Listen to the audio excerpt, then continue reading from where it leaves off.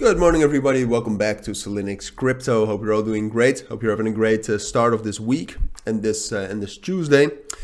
Uh, and welcome to this video. We'll talk about Ethereum. We'll talk about some important fundamentals coming today in less than eight hours. The uh, the fundamentals actually start. Uh, but apart from that, we'll also talk uh, briefly about the about the fundament about the technicals. Excuse me. We'll start with that. We'll start with the technicals, and then we'll talk about the fundamentals and uh, and what you can expect from that all the different scenarios all the different outcomes of course with news and with fundamentals you cannot always predict it but i can give you some guidelines on what to look for uh, what to expect in certain uh, certain scenarios so we'll talk about that. So now let's get right into it.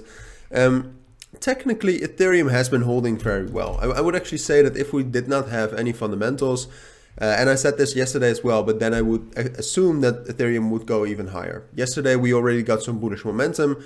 We also got bearish momentum though, let's be honest about that. But kind of the, the structure that we've been following um, for actually longer already. Here, uh, after the 25th, it was a little bit more prominent.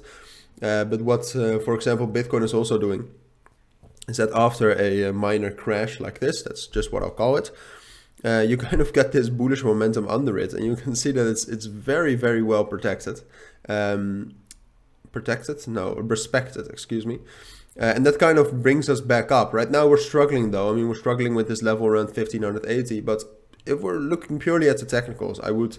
Uh, say that the uh, that the market structure would surely bring us up to uh, to 1590 and also probably up to the, this level around not maybe at but around 1600 but all right, that's only based on the technicals, and we cannot do that. We cannot do that when we have important fundamentals uh, coming uh, coming up very soon. And those important fundamentals are, or is the uh, the testimony by Jerome Powell, the main the main man of of the Federal Reserve, right? So that's going to matter a lot. The monetary policy is one of uh, the monetary policy of the U.S. To be honest, is one of the big drivers in crypto.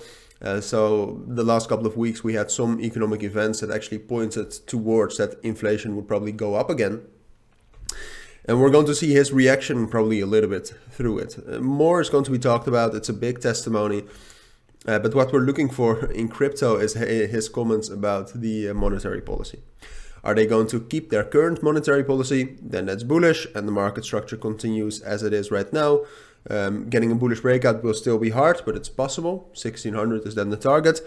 But if he will say something that the uh, along the likes of like the inflation was unexpected and it's going up even more than he and the Federal Reserve expected, so they might have to increase uh, uh and, and hike the interest rate a little bit more, so make it go higher, then that's bad.